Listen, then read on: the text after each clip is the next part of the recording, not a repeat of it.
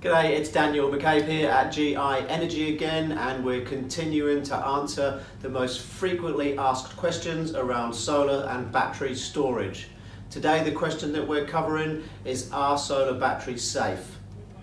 Most solar batteries, most modern solar batteries anyway, are a lithium ion battery, which is very similar to the battery that's in your mobile phone that you carry around in your pocket all day.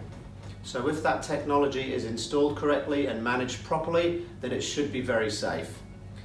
If you buy a battery that is poor quality, or if a battery is not installed correctly, then there would be an increased risk of the battery overheating, which is where a lot of the risks associated with batteries come from.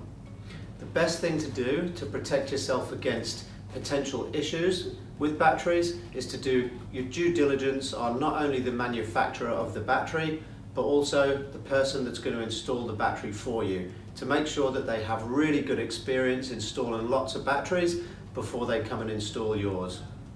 In Australia today, there's very strict standards around battery installations. So there may be some things that you have to do in order for your install to meet those standards, which may cost a little bit more than a standard installation would.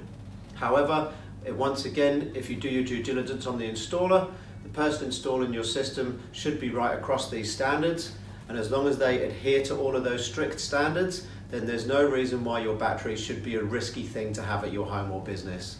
So to summarise, a battery will be safe if you choose the right battery, you have it installed by the right person and the person installing the battery complies with all of the very strict standards here in Australia for battery safety.